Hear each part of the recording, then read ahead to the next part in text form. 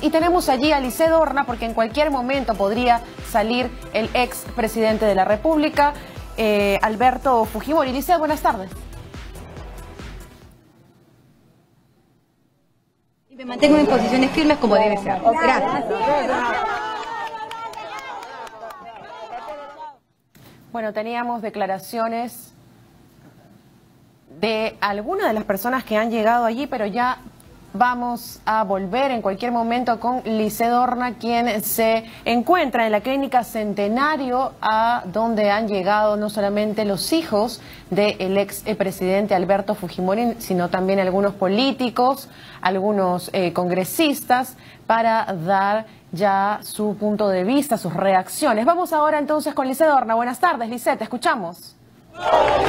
Muchísimas gracias, buenas tardes Rocío. Efectivamente, eh, continuamos aquí en los exteriores de la Clínica Centenario, donde permanece el expresidente Alberto Fujimori. Como se sabe, todavía él continúa en la unidad de cuidados intensivos, tal y como lo dijo su médico de cabecera, Alejandro Aguinaga, esta mañana, donde también han llegado diferentes legisladores para conocer un poco más de cerca sobre su estado de salud. Vamos a escuchar en estos momentos las declaraciones justamente de su médico de cabecera, Alejandro Aguinaga, quien se pronunció esta mañana a los medios de comunicación.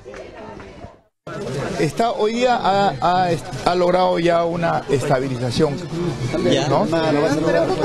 Pero hay que ver ahora, cuando comience a disminuir los medicamentos, cómo va a responder, ¿no? No tenemos un tiempo perentorio, continúa en cuidados intensivos. Hoy día eh, hay una buena respuesta al tratamiento, ahora hay que ver cuando se comiencen a bajar la dosis, ¿no? Ayer lo recibió con muchísima calma, entenderás que él está postrado, que está bajo terapia intensa, pero con mucha calma, con mucha, con mucha eh, digamos, la tranquilidad que él siempre tiene, ¿no? No hemos, no hemos querido tocar ningún tema político, nos hemos ceñido al tema médico. Sería, como te digo, temerario de, de quién lo asiste sanitariamente tocarle un tema político cuando está en una situación de cuidado.